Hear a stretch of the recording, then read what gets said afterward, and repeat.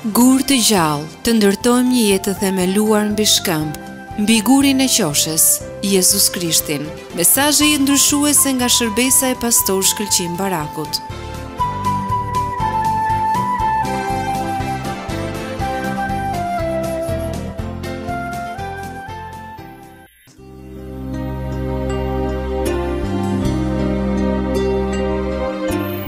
Djali plangprishës u largua larg atit të tij. Jetoi një jetë të shthurur dhe jo të denjë, por kur u kthye tek ati i tij ai e priti me krahë hapur.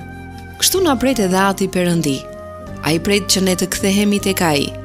Asnjëherë nuk është vonë të kthehemi tek Perëndia, tek dashuria e tij. Hiri i tij nuk mbaron asnjëherë. I predikon Jezus Krishtin një moshe të kaluar, të thyer, edhe ai thotë, e ne pleqtë u rritëm në komunizëm, të paktën të mësojnë të rinjtë. Mua më tingëllon, sikur thonë, ne pleqtë do vejmë në zjarr, ne do të rrimë në ferr, po këta të rinjtë të venë në parajsë. Pra, as edhe njëherë nuk është vonë, Vijim ju ftoj të ndiqni pjesën e parë të mesazhit Një jetë me Perëndinë, kurrë nuk është vonë nga pastor Shkëlqim Baraku. Pra, as edhe njëherë nuk është vonë.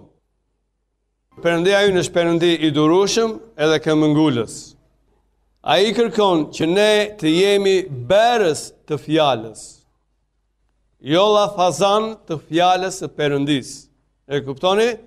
Bërës të fjalës. Jo llafazanë të fjalës së perëndisë. Për shembull, perëndia ka thënë, Zoti tha, "O oh, po ky varg në Bibël na tregon këtë dhe ky vargu tjetër na tregon atë gjënë tjetër dhe me këtë perëndia kërkon të tregojë atë dhe me këtë varg perëndia kërkon të na thotë kështu dhe vetë vazhdon në rrugën e vet. Perëndia nuk na kërkon të jemi hipokritë, por kërkon që ne të jemi bërës të fjalës së Perëndisë. Ndoshta mund të jesh në kishë, ndoshta mund të vish në kishë, mund të deri ditën e vdekjes të jesh në kishë, edhe të mos jesh bërës i fjalës së Perëndisë. Por mund të jesh plak, të vish të rritën tënde në kishë, nuk ke qenë bërës i fjalës së Perëndisë, por ke shpresë sot. Perëndia ynë është perëndi i durueshëm, nuk është një perëndi hakmarrës. Në moment edhe të shikon që ti nuk je konvertuar, nuk je ndryshuar, ik dil prej pranisë time. Jo. Perëndia ynë është një perëndi i mëshirshëm. Kështu që tema sot do të jetë një jetë e re me perëndinë, kurrë nuk është vonë.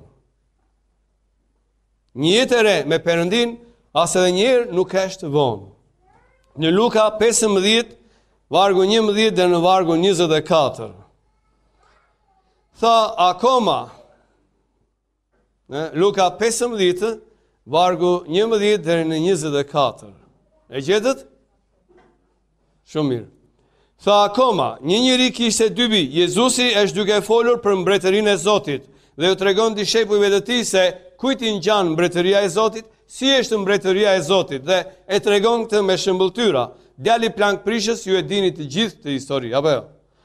Dhe tha akoma, një njeri kishte dy bij, më i riu i tyre i tha babait, atë më jep pjesën e pasurisë që më takon dhe ati ua ndau mes tyre pasurinë. Mbas pak ditësh, biri më i ri, mblodhi gjithçka, shkoi në një vend të largët dhe atje e prishi gjithë pasurinë duke bërë një jetë të shthurur. Por si i shpenzoi të gjitha në atë vend, ra një zi e madhe buke dhe ai filloi të jetë në hall. Atëherë shkoi e u ngjit pas një banori të atij vendi, i cili e çoi në arat e tij që të ruante të ruajë derrat. Dhe ai dëshironte të mbushte barkun e tij me lendët që hanin derrat, por askush nuk ia jepte.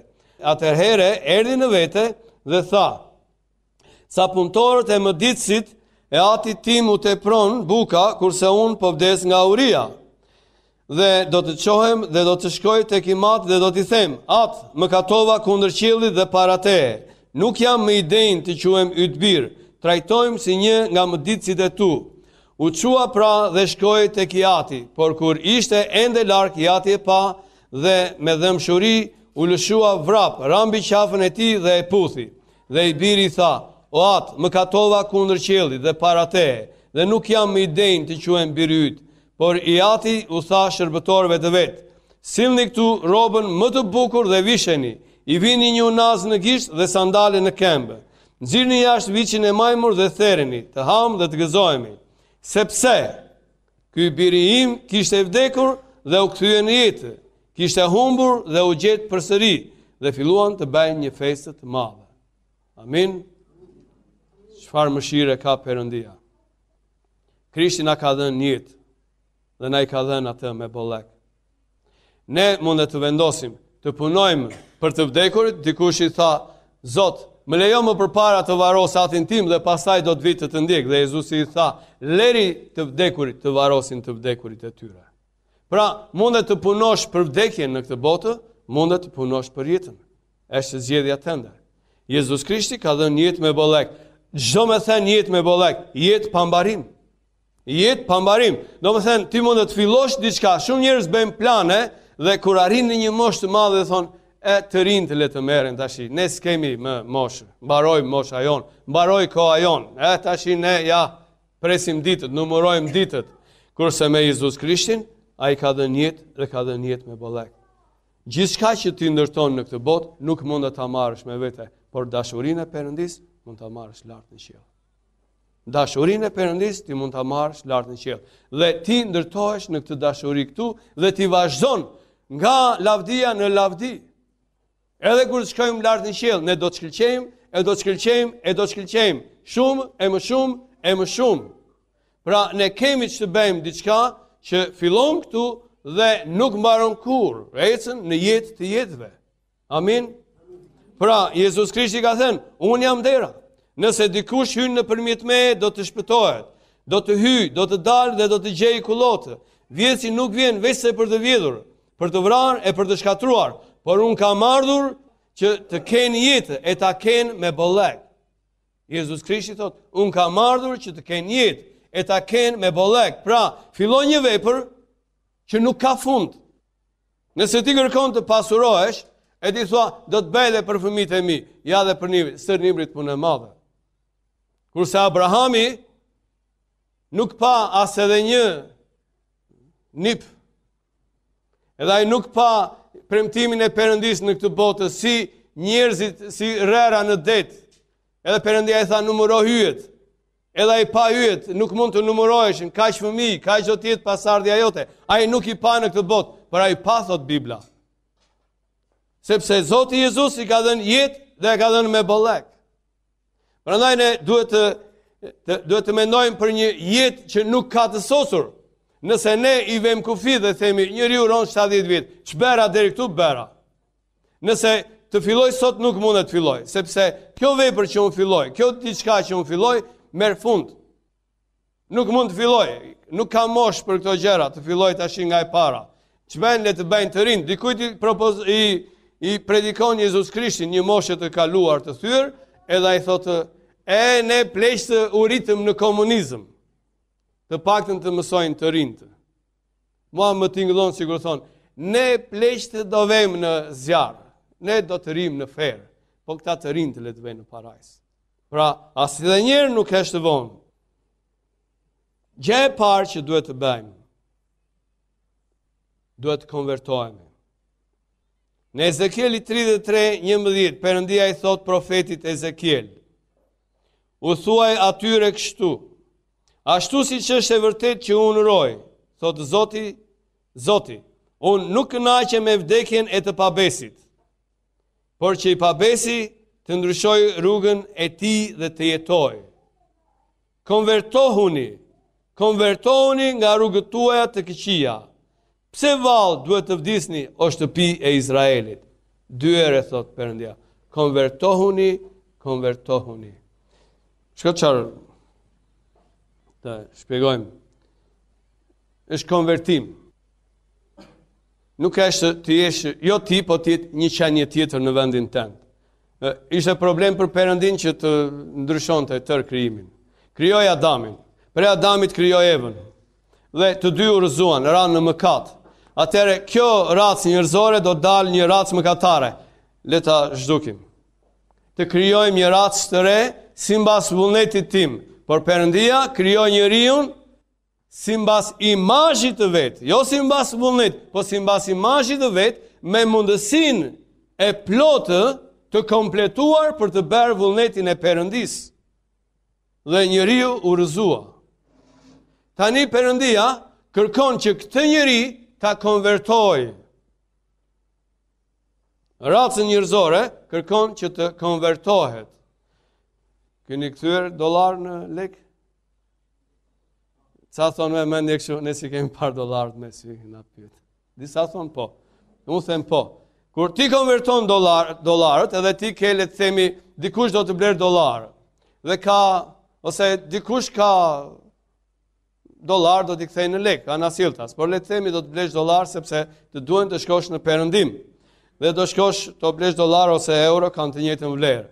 Edhe është 1380 lek të vjetra, një euro ose një dollar, dhe ti duhet të japësh 1300 leka e kusur për të marrë një dollar. Dhe me këto 1300 leka mund të blesh diçka më tepër këtu, por e konvertuar në dollar kur të shkosh në perëndim nuk blet dot aq sa mund të blesh këtu, sepse ka një vlerë më pak. Kështu që ne jemi si ato, si ai malli bruto. Duhet të konvertohemi. Të konvertohesh do të thotë të kthehesh nga ky që je, të konvertohesh, të shenjtërohesh për Perëndinë dhe nga 1300 që koston ti, do të përfundosh në 1 lek dhe në qoftë se ti ke vënë më shumë, do të përfundosh në 5 dollar apo në 100 dollar. Pra, të konvertohesh do të thotë të zhvishesh nga çdo gjë dhe të mbash vetëm thesarin e çmuar në sytë e Perëndisë. Pra, të konvertohesh do të thotë, asgjë që ti ke bërë për egoizmin tënd në këtë botë, nuk vlen. Vetëm ç'ke bërë për tjetrin, vetëm ç'ke bërë për Perëndinë. Të gjithë njerëzit kërkojnë që të tjerët të bëjnë për mua. Të tjerët të bëjnë për mua. Keni dëgjuar shpesh herë kur Të rinjtë nda kanë grindje, vëllezër me motra ose vllai me vllanë midis njëri tjetrit. E, e mban maman, po mamaja sa të mira i sjell aty, po mamaja po i rrit fëmijët, po mamaja i shpije fëmijët në kopsht, po mamaja ia gatuan drekën, po mamaja i gjen shpinë e fshirë. Kështu që pse mos bëj nusja, pse mos bëj kunata, se i ka të gjitha dhe e ka ngritur ekonominë, unë s'kam asgjë. Edhe vllai, po është shumë mirë sepse mamaja i gatuan, mamaja i mban shtëpinë, mamaja i mban fëmijët, mamaja kujdeset për fëmijët dhe është shumë në rregull kjo familje. Mamaja plaket tashi. Po edhe para se të plaket është e aftë, mamaja shkon do vetë 2 muaj ne çupa në Durrës. Edhe alo telefoni, po dy muaj, po si do rish dy muaj mama, ti ke fëmijët këtu tashi, se kemi punë. Vjen mamaja e gjorë, se e merr malli për nipin për mbesën. Dhe ja si bëjnë me duart, si bëjnë me këmbët mamasë dhe plaket. Dhe ja shtrihet në shtrat. Dhe ja një sëmundje vdekjeprurëse i vjen. Sepse kjo është jeta. Ë? Vajti po themi 80 vjeç, ja vajti më shumë se 80 vjeç dhe tashi duhet që të kthehet shërbesa nga e kundërta. Mamaja i shërbeu fëmijëve, tashi duhet që fëmijët t'i shërbejnë mamasë ose t'i shërbejnë babait dhe babai është i shtrirë, mamaja është e shtrirë, duhet ta ngrenë e ta pastrojnë si një bebe. Dhe pastaj fillojnë komentet jashtë. Komenti i parë është, le se e kam një ndihmë, e kam një ndihmë, ç'të them, një, një lavatriçe të madhe në shtëpi vjehrrën ose mamanë. Komenti i dytë është, më mirë të vdesë. Se edhe kështu nuk jetohet. Do shpëtojë për vete. Shpëtoj me neve. Mamaja nuk tha për nipin, as për mbesën, më mirë të vdesë, shpëtoj dhe unë, shpëton dhe ai vetë. Ë? Por mamaja, kur nipi rrëzoheshe pak, mamaja, o, oh, bir, o, oh, zemra ime, o, oh, bir i gjyshes. Dhe kur gjyshja vjen në shtratin e vdekjes, dhe fëmijët vetë thonë, epo, më mirë të vdesë. Nuset s'e di a thonë për vjehrrën. Nuk e di për nuset a thonë për vjehrrën, po ndoshta mund të ketë ndonjë nuse. Tek tuk mund të jetë ndonjë nuse që thotë më mirë të vdesë të shpëtojë për vete.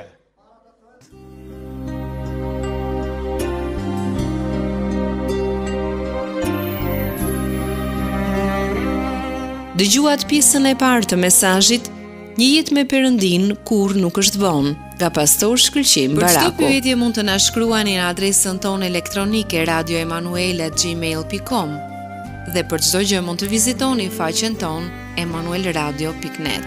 Deri në programin tonë të ardhshëm, mirudëgjofshim.